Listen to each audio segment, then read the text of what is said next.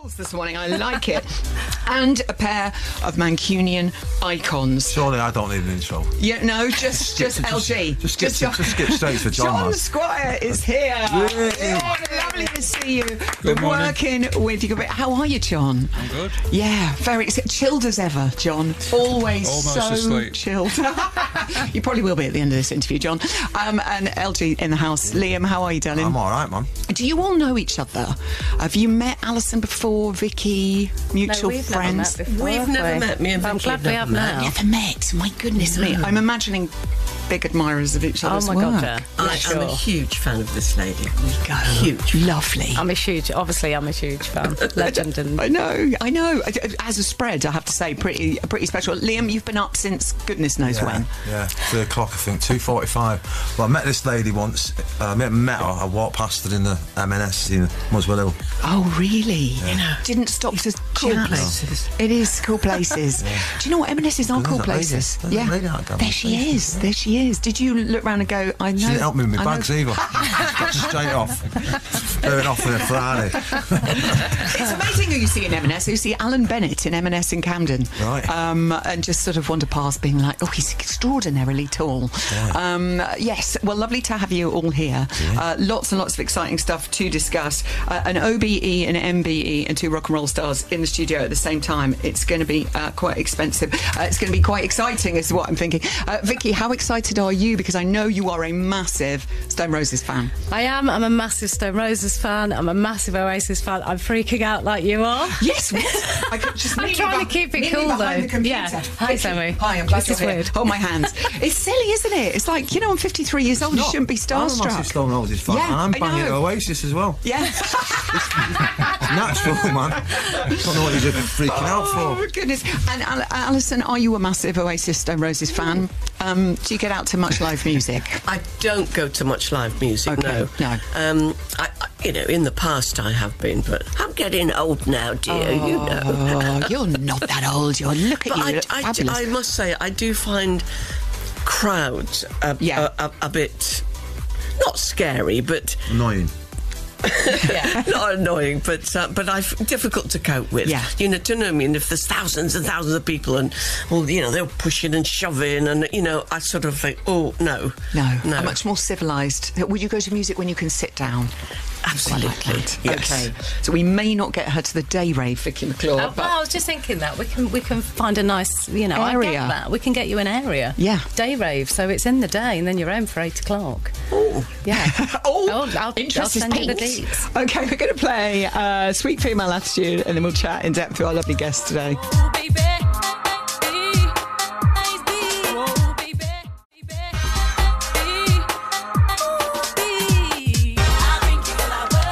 Female Attitude Flowers on BBC Radio 2. Fabulous guests we have here this morning, just having a lovely catch up with everybody. So, Liam Gallagher and John Squire come together um, to make some music together. It's a long time we wanted this to happen. Obviously, there was a moment with the Seahorses, there was a moment in Knebworth back in 96, and then in 2022 when John joined Liam on stage, of course. But actually, to go in the studio and make music together, there is a huge hub of excitement about this music that's come out. Liam, firstly, though, weren't you meant to be taking an, a year off to find yourself? Did you tell Jo Whiley that? Well, no, to lose myself. Oh, that was it. To get rid of myself, yeah. yeah, no, well, after Knebworth and that, I just thought maybe I need to get out of people's heads, you know, faces and that, and I had to go and get an operation as well. And then uh, John ruined that by calling me and asking me would I wa- like to uh, sing some of his songs and that. So Fantastic. didn't have the year off, went back grafting. So there you go. There you go. So uh, when did when was this seed planted for you, John? When did you start thinking, hang on, we got to do some stuff together? And how does it work between the two of you when you're writing together? Um, I think the, the first time we spoke about it was when I went to rehearse for Knebworth for that one song. Yeah. Uh, and I've always known it would work, never thought it would happen. I feel like I've found a magic lamp and got that first wish. Um, Excellent. I wonder what the next two will be on the lamp. Two more albums. Two more albums. Fantastic. This is great. So, um, uh, working together, how does that work, Liam? John does all the work, and Okay. I sort of just pop up at the end and sort of put it in the back of the net. Right. Fantastic. Goal That- on, Ango. that- and did you do that? No, I mean John wrote the songs and that, Yeah. so you know I just think you know he had it all sort of mapped out and done and that, and I just had to do the singing, which is great. You know what I mean? I think you know there's not, it was all done, so there's no point in me coming in and spoiling the party. You know what I They mean? want it all done. Well, it was. I mean, the, the songwriting, all the the songs Yeah. were recorded. You know, we'd done and that, and then we had to sort of just do my to do my bit, which I find very easy. You know what I mean? Yeah. It's So, just there you go, natural. yeah. Yeah, there you go. And what about lyrics and stuff like that? It's, you know, you you, you writing those. John's writing the John did lyrics. it all. Yeah, he did it all. Oh, we've had an easy time of it, Liam. What a That's lovely why time. I'm knackered. never worked, never worked so hard in his life. No, no but no, no, it's, it's great, man. I- Yeah. I think it's turned Um, out well. You know what I mean? Where, and where did you record it? Was it, was it at your studios, John? We did demos at mine, Yeah. my house, but uh, we recorded the album in LA Yeah. Because we wanted to work with Greg Kurstin, Yeah.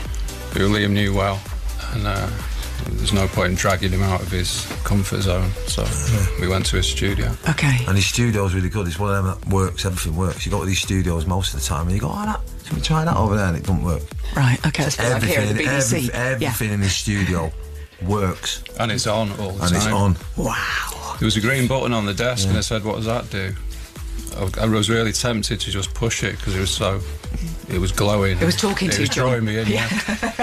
he went, "No, that turns everything off." What? And you never do that. You never do that. Um, amazing group of musicians as well that you, you're working with. But the great thing is you are taking this record out on the road as well, um, which the fans are going to just, they're going to lose it. It's going to be Vicky, you, me. Alison will find her a quiet area where she can sit down. Um, Yeah, no, you like to think so. I mean, people like people like Oasis or the Roses and that. I think they'll like it. You know what I mean? I mean, if you're into Bjork, I don't think you're going to dig it that much. You know what I mean?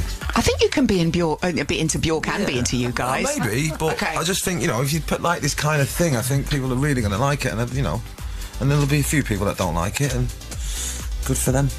Give that word. From what I've heard from the album so far is amazing. Um, can you tell us a bit about some of the themes on the My album, son John? doesn't like it. He doesn't, doesn't he? There. How, Big massive how, Bjork fan. How old's your son, John? He's 12. He's 12. Okay, what's he into though, musically? Um, not much. Okay, all Uh, right. A couple of Eminem songs and Back in Black. The song, not the band. Yeah, okay. It'll come though. Every time the al- we play it a lot in the car. My wife does as well, and every time it's on, he's like, "Not this again." Not this again, Dad. Try to open the door. Do you know what though? It is Why that the thing. The truth from your want anyone at children. school to hear it in the car park. Does he make you park round the corner yet? That'll come. If he's only 12, you might not get that yet. Don't go anywhere near school, please. No, that's not happening yet. That does happen, Liam, doesn't it? It does. Yeah. Alison, do you remember that moment when your kids were old enough that suddenly they were like, no, please don't walk me into school? Uh, yes, I do. Yes. No, that, I mean, you know, you, you, they get to that age when they're just embarrassed by you all the time. and, uh, yeah, and, and you just can't wait for them to grow up and actually s- stop going, um, you know, I, I'm above it though. Yeah, but I, th- I think if you're paying for that education, you should be allowed to walk into school then. it's very, And very hang out, true. innit? And hang out in the canteen and that, you know what I mean? I'm paying for it, man. That's amazing. Uh, uh, well, the album is called Liam Gallagher and John Squire. It's coming out on the 1st of March. Uh, brand new single uh, to play now Mars to Liverpool. Uh, Liam, what can you tell us about this one? Brad's I- play it. John will have to tell you everything about it. Okay, John, what do you want to tell us about it? Um, it started with a text chat between me and Liam about being disappointed at getting to your destination. Right, we've all had that. Yeah. Okay. And we, there was a, we start. It went from that to space travel. Very quickly. I was imagining how disappointing it would be to get to Mars. Would it be the same? You go all that way and then you're disappointed. Brilliant. From Liam Gallagher and John Squire, this is Mars to Liverpool.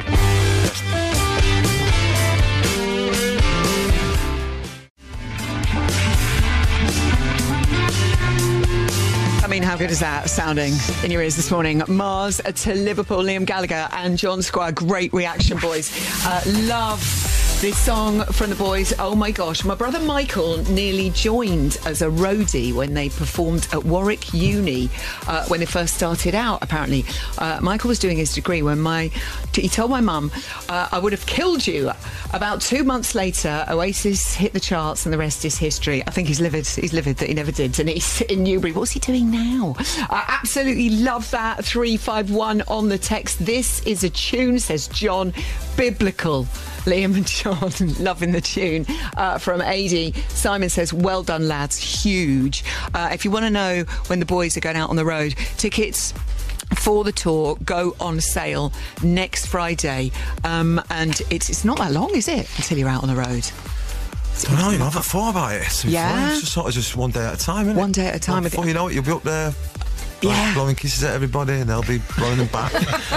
so I try not to try not to think Try about not it. to just, think. That's just John. Otherwise, you stress out. You know what I mean? When you think that you've got something to do something, you know what I mean? It'll just happen when it happens. Yeah. Smiling. It will- Smiling, you know what I mean? You all just, that. I've, you've just missed a really brilliant conversation about photo shoots and being made to smile, and some of the f- things that photographers have tried to make Liam do in photo shoots, like be a tiger. Be a tiger. I mean, please. know. Good luck with that. Uh, amazing album artwork here. We've got look, got the vinyl there, all the tracks on the front there. I'm a wheel, make it up.